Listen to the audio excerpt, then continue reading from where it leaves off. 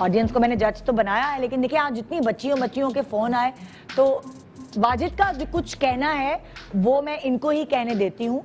और फिर उसके बाद हम प्रोग्राम को आगे बढ़ाते हैं वाजिद ओके पर्सनली मेरा किसी से कोई मसले मसाइल नहीं है आप अ, अ, पहले दिन बहुत अच्छा किया था आपने अ, सुमेरा ने। ने हाँ। अ, आपने सनोबर ने और आयशा को तो मैंने बिल्कुल ही बिल्कुल ही भगा दिया था शो से हाँ आपको याद है कि मैंने बीच शो शो शो से आयशा को मैंने एलिमिनेट कर दिया था बेस की। वजह से या हाँ। सो आयशा अभी जितने भी कॉल्स आ रहे हैं आयशा ने काली आँखें की हैं काली आँखें की हैं काली आँखें की हैं काली आँखें की हैं ये बुरा ये बुरा ये बुरा है ये बुरा है। सो पर्सनली मैं अगर अ, सना का बड़ा अच्छा मेकअप है सना ने बड़ा प्यारा मेकअप किया है अ, इनका प्यारा अगेन साइमा जो है साइमा साइमा की।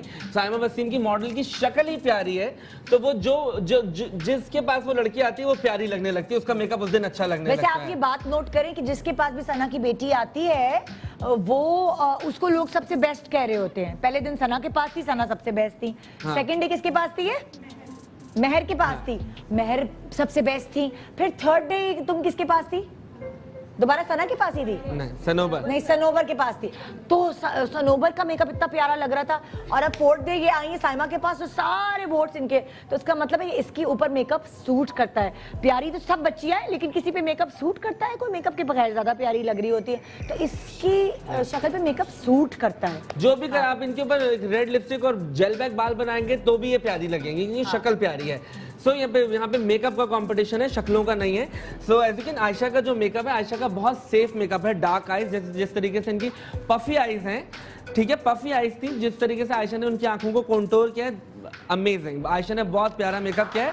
एंड मैं आयशा को मैं नहीं जाने दूँगा क्योंकि मुझे नहीं लगता कि आयशा को जाना चाहिए। अगर हाँ। मेरे पर्सनली आप मुझसे पूछेंगी हाँ। तो मैं दो लोगों को आज मैं दो लोगों को अगर मैं अगर आपको भेजूँगा तो मैं दो लोगों को बिल्कुल इस शो से आज भेज दूँगा। एंड कल हम उसको कंटिन्यू करेंगे एक्चुअली ये दो लोगों को डेंजर जोन में लेके जा रहे हैं। और उसके बाद आपको ये बताएँगे कि आपने इन दोनों में से सिलेक्ट करके कल तक हमें जवाब देना है। मतलब लाइक आप आ, के कि इन दोनों में से जो हम अभी जो वाजिद अभी सिलेक्ट करने वाले हैं कि इस इन दोनों में से शो से कौन जाना चाहिए? वाजिद प्लीज़ नाम अनाउंस करो। मैं तो चाहूँगा कि दो, दोनों ही चले जाए।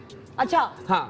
लेकिन फिर भी ऑडियंस की राय है ऑडियंस हमारे साथ रहती है कनेक्ट रहती है इतना टाइम निकाल के फेसबुक देख रही है शो देख रही है तो उनकी राय भी ज़रूरी है। क्योंकि कल तुम कहते थे जैसे मेहर को नहीं जाना चाहिए हाँ। तो मैं लगता है कि मेहर इनसे बेहतर है। हाँ मेहर तो बहुत क्योंकि। ज- मह- जो, जो मेहर की बेटी थी हाँ। जिस जिसके पास मेहर की बेटी गई है उसने उस बच्ची का सत्यानाश मारा है। हाँ। ठीक है हाँ। मेकअप चाहे सना बहुत अच्छा मेकअप करती है उस दिन सना ने भी सत्यानाश मारा था उनके पास गए उन्होंने भी सत्यानाश मारा मेहर वाहिद थी जिन्होंने बहुत खूबसूरत मेकअप किया था अपनी, अपनी बेटी बेटी का हाँ। उस दिन मैं पहले दिन बोल भी रहा था कि पूरा ऑरेंज बेस लगा दिया लेकिन जब वो करते करते करते आँखों की ब्लेंडिंग और ये और वो मेहर ने बहुत खूबसूरत किया था हाँ। कल सिर्फ़ उनका लैशेस की वजह से हुआ था और लैशेस निकाल दी थी तो वो सही हो गया था क्योंकि हाँ। मेहर की ब्लेंडिंग बहुत अच्छी थी अच्छा पर अब तो वो मेहर का अगर कल मैंने बोला है, दो तो मैं कि सुमेरा?